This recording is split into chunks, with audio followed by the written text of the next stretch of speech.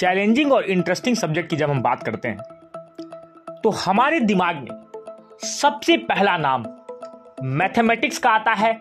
Mathematics एक ऐसा subject है, जिसके अंदर बहुत सारे विद्यार्थी संघर्ष करते हैं। वह मैथमेटिक्स को पढ़ना ही नहीं चाहते, या फिर अगर वह पढ़ते हैं तो उन्हें मैथमेटिक्स बहुत ज़्यादा हार्ड लगती है। चाहे हम अपने स्कूल के एग्ज़ाम दें बोर्ड के एग्ज़ाम दें मैथमेटिक्स एक ऐसा सब्जेक्ट है, जिसमें एक विद्यार्थी को सबसे कम कॉन्फिडेंस रहता है कि वह पूरे के पूरे अंक लेकर के आएगा, अच्छे से अच्छे मार्क्स को स्कोर करेगा। आज के इस वीडियो में हम जानेंगे कि आप अपने मैथमेटिक्स में किस तरीके से शून्य से शिखर तक पहुँचे, यानी ज़ीरो से हीरो बनने तक का सफ़र किस तरीके से आप मैथमेटिक्स में तय करें, आज के इस वीडियो में हम जानने वाले हैं। सबसे पहले जान लें कि मैथमेटिक्स को पढ़ने का आपका तरीका, वह बिल्कुल भी सही नहीं है जब आप मैथमेटिक्स की पढ़ाई करते हैं। तो हमेशा ध्यान रखें कि मैथमेटिक्स जो सब्जेक्ट है, वह तीन चीज़ों से मिलकर बना है, थ्योरी, कॉन्सेप्ट और क्वेश्चंस। दोस्तों, जब भी हम मैथमेटिक्स को पढ़ते हैं, हमें हमेशा यही बताया जाता है कि सिर्फ़ हमें सवाल प्रैक्टिस करने हैं, बाकी कुछ भी ध्यान नहीं देना है। हमें फॉर्मूलेस को रटना है, उन्हीं फॉर्मूलेस को यूज़ करना है, सॉल्व करते चले जाना है, बिना किसी कॉन्सेप्ट को समझे, बिना किसी थ्योरी पोर्शन को समझे। सबसे पहले आप ध्यान रखें, आप बोर्ड एग्ज़ाम के परीक्षार्थी हैं, आप किसी भी क्लास के स्टूडेंट हैं अपनी किताब को पढ़ने की आदत ज़रूर डालें। मैं आपको एक एग्जांपल देता हूँ, जैसे कि आपसे मैं एक सवाल पूछता हूँ छोटा सा और आप मुझे कमेंट सेक्शन में इसका आंसर दीजिएगा। जैसे कि अगर आपसे मैं पूछूँ टू फाइव फोर सिक्स इसके स्क्वायर रूट में नंबर ऑफ़ डिजिट्स कितने आएँगे? अब ऐसे बहुत सारे विद्यार्थी हैं जो इस सवाल को बताने में फंस जाएँगे, और वह सोचने लगेंगे कि क्या मैंने कभी इस चीज़ को पढ़ा है या नहीं। लेकिन मैं आपको बताता हूँ कि जब अपनी किताब को आप पढ़ते हैं तो बहुत सारे ऐसे पॉइंट्स आपको मिलते हैं जो आपकी एक्सरसाइज में, आपके कॉन्सेप्ट को बिल्ड करने में बहुत ज़्यादा हेल्प करते हैं। तो सबसे पहला काम के लिए आपको यह करना है कि आप थ्योरी को लाइन बाय लाइन अपनी बेसिक किताब की, अपनी एनसीआरटी की लाइन बाय लाइन आप थ्योरी पोर्शन पढ़ेंगे, जिससे कि आपका कॉन्सेप्ट बिल्डअप होगा और बहुत आसानी के साथ आप कई सारे सवालों को सॉल्व कर पाएँगे। मैं आपसे यहाँ पर दो तीन चीज़ें पूछता हूँ। जैसे हम बार बार पाइथागोरस थ्योरम को पढ़ते हैं। पाइथागोरस थ्योरम का यूज़ हम राइट एंगल ट्रैंगल में बहुत ज़्यादा करते हैं। बहुत सारे ऐसे विद्यार्थी होते होंगे जिन्हें स्क्वायर रूट निकालने में, उसकी डिफरेंट डिफरेंट साइड्स निकालने में बहुत ज़्यादा प्रॉब्लम होती है। लेकिन क्या उन्होंने कभी इस तरह के ट्रिपलेट को पढ़ा? M square minus one M square plus one two M ये ट्रिपलेट है। और बहुत सारे सवाल हम इसी ट्रिपलेट के आधार पर सॉल्व कर सकते हैं। बहुत सारे ट्रिपलेट्स को हम लर्न भी कर सकते हैं।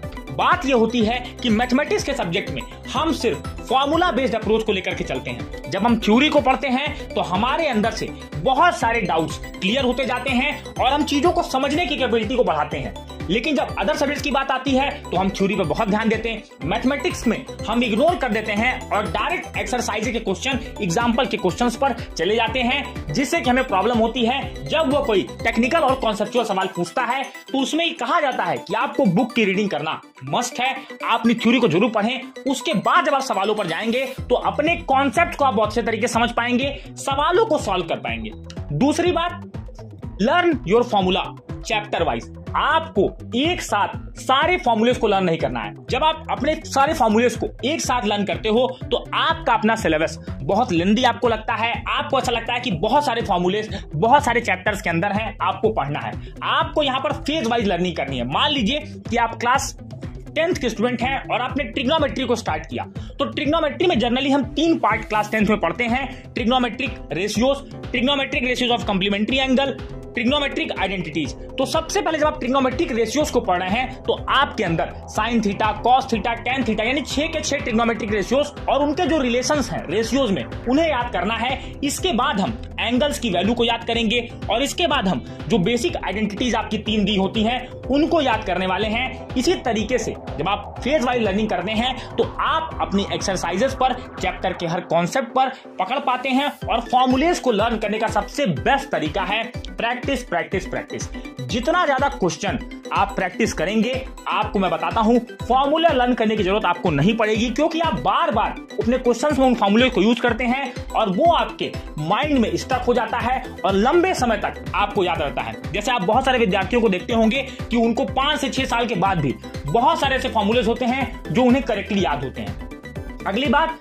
लर्न फॉर्मूला वेरी कॉन्शियसली बहुत सारे बच्चे बिना यूनिट के, जैसे बहुत सारे फॉर्मूले एरिया की यूनिट आपकी स्क्वायर मीटर होती है, इसके बाद वॉल्यूम की आपकी क्यूबिक क्यूबिक यूनिट्स होती है, इस तरीके से आपको ध्यान देना होगा कि आपकी कौन सी यूनिट में क्या चीज़ें दी हुई हैं। जब आप मेंसुरेशन के क्वेश्चन को सॉल्व करते हैं, बहुत सारे ऐसे क्वेश्चन होते हैं जिनको हम यूनिट्स के थ्रू पहचान पाते हैं कि इस क्वेश्चन में क्या गिवन है। तो आपको जो भी फॉर्मूले आप याद करें, जो भी चीज़ें आप लर्न करें, उसके यूनिट्स हमेशा याद रखें कि इस यूनिट में चीज़ें रहेंगी तो आपको किस चीज़ की वैल्यू दी हुई है। अगली बात ध्यान रखें, जब आप मैथमेटिक्स को पढ़ते हैं डोंट यूज़ मल्टीपल रिसोर्सेज बहुत सारे बच्चे तरह तरह की किताब R D Sharma, R S Aggarwal, K C Sinha, M L Aggarwal, S Chand तरह तरह की पब्लिशर की बुक लेकर के आते हैं और किसी भी बुक पर वह कमांड नहीं पाते हैं। मैं सबसे पहले बोर्ड के परीक्षार्थियों से या अपने स्कूल स्टूडेंट से कहूँगा कि आप अपनी बेसिक किताब को बार बार सॉल्व करने का प्रयास करें। कम से कम उसे दो से तीन बार ज़रूर सॉल्व करें और रेफरेंस के लिए सिर्फ़ एक किताब रखें। उससे ऊपर आपको कोई किताब नहीं रखनी है। Try to solve NCERT in a correct way जब आप एनसीआरटी को सॉल्व करते हैं, आपने महसूस किया होगा कि जो एग्ज़ाम्पल के क्वेश्चन होते हैं, वो एक्सरसाइज से कई गुना बेस्ट होते हैं और वह आपको कॉन्सेप्ट के साथ साथ ट्रिक और नई नई वेरायटी के क्वेश्चन आपको देते हैं। उसी बेस पर आपको अपनी रेफरेंस बुक में क्वेश्चन खोजने हैं और उन क्वेश्चंस को सॉल्व करना है जिससे कि आपका पूरा सिलेबस आपके कमांड में हो, आप अच्छी प्रैक्टिस कर पाए, या ज़्यादा से ज़्यादा मार्क्स मैथ में ले पाए। अगली बात ध्यान रखें कि मैथमेटिक्स के रिवीजन जब आप करते हैं तो revision in a proper way revise in a proper way आपको करना यह है कि जब आप मैथमेटिक्स की बुक को पहली बार सॉल्व कर रहे हैं तो पहली बार आप हर क्वेश्चन को सॉल्व करें और जो भी क्वेश्चन आपको डाउट हो, उन्हें आप मार्क कर लें। जब आप सेकेंड टाइम रिविजन करें, फिर आप उन क्वेश्चंस को दोबारा बनाएँ जो क्वेश्चंस आपसे नहीं बने थे। और जब आप थर्ड टाइम रिवीजन करते हैं किसी भी चैप्टर का तो हमेशा ध्यान रखें कि हर क्वेश्चन को एक बार देख ज़रूर लें और जिन क्वेश्चंस को आपने मार्क किया था, जो आपसे दूसरी बार और पहली बार नहीं लगे थे, उन क्वेश्चंस को ज़रूर सॉल्व करें। क्योंकि हम जब सवालों को छोड़कर जाते हैं और वही सवाल हमें एग्ज़ाम में देखने को मिलते हैं तो हम घबरा जाते हैं और हम उन सवालों को नहीं बना पाते। अब बात आती है बहुत सारे बच्चे। मैं देखता हूँ कैलकुलेशन के अंदर। बहुत ज़्यादा घबराते हैं, क्योंकि मैं भी दोस्तों इसी फ़ील्ड में हूँ टीचिंग में। तो मैं ये देखता हूँ कि कैलकुलेशन में बहुत ज़्यादा बच्चे घबराते हैं। कैलकुलेशन के लिए मैं आपको बता दूँ, आपके पास टेबल का नॉलेज होना बहुत ज़रूरी है। आपको कम से कम 25 तक के टेबल पुराने चाहिए। बहुत सारे ऐसे दसवीं, बारहवीं के स्टूडेंट हैं जो कि बहुत ही शर्म की बात है कि उन्हें टेबल नहीं याद होता है। वो टेबल याद नहीं करना चाहते हैं, वो टेबल याद नहीं करते हैं। इस वजह से उनकी बहुत सारे कैलकुलेशन बहुत सारी चीज़ें उनसे सॉल्व नहीं हो पाती। स्क्वायर रूट तक वो नहीं निकाल पाते हैं। तो इसलिए आप कभी भी बेसिक में जाने से मत डरें। छोटे भाई बहनों की अगर किताब आपके पास हो ऑनलाइन आप किसी प्लेटफॉर्म से यूज़ कर सकें। अपने कोचिंग के टीचर से ट्यूशन के टीचर से आप ज़रूर इस बात को कहें कि सर, मेरी कैलकुलेशन स्पीड बहुत कमज़ोर है और मुझे इस बारे में आप गाइड करें, मुझे इस पर काम कराएँ। क्योंकि जब आपकी कैलकुलेशन स्पीड आपकी प्रॉब्लम सॉल्विंग एबिलिटी बढ़ेगी, तब आपका मैथमेटिक्स में इंटरेस्ट बढ़ेगा। और अंतिम टिप जो मैं आपको दूँगा, वह यह है कि डेली आपको 15 क्वेश्चंस डेली लगाने हैं। कितना भी कम आप पढ़ें, लेकिन मैथमेटिक्स में याद रखें जितना ज़्यादा आप रेगुलरली प्रैक्टिस करेंगे, उतना ज़्यादा परफेक्शन की तरफ़ आप मैथमेटिक्स में पहुँचेंगे। तो आपको रेगुलर पंद्रह क्वेश्चन आपको कम से कम लगाने हैं और इस तरह से अगर आप लगाएँगे तो एक महीने में आप लगभग लगभग 450 क्वेश्चन साढ़े चार सौ सवालों को आप सॉल्व कर चुके होंगे और फिर आपका कॉन्फिडेंस एकदम नेक्स्ट लेवल पर होगा, जो कि आपको आपके एग्ज़ाम में स्कोर करने में बहुत ज़्यादा मदद करेगा। मैथमेटिक्स एक ऐसा सब्जेक्ट है जिसमें आपको लगातार प्रैक्टिस करनी है, बने रहना है, इससे डरना नहीं है। सबसे बेहतरीन सब्जेक्ट अगर मैं मानता हूँ किसी को तो वो मैथमेटिक्स है। लेकिन आपको आपके पढ़ने का अप्रोच बदलना होगा, तरीका बदलना होगा, निश्चित रूप से आप सफल होंगे। मैं उम्मीद करूँगा कि यह वीडियो उन सभी विद्यार्थियों के लिए, जिनको मैथमेटिक्स से डर लगता है, वह यह वीडियो उनकी प्रॉब्लम को सॉल्व करने में सफल रहा होगा। मैं रिक्वेस्ट करूँगा कि यह वीडियो आप अपने दोस्तों में, अपने छोटे भाई बहनों में, अपने सभी मित्रों में इस वीडियो को रिसर्च, शेयर करें। चैनल पर पहली बार आ रहे हैं तो चैनल को सब्सक्राइब करें नोटिफिकेशन बेल को टैप करें। मिलेंगे अपने अगले वीडियो में, तब तक के लिए जय हिंद, वंदे मातरम।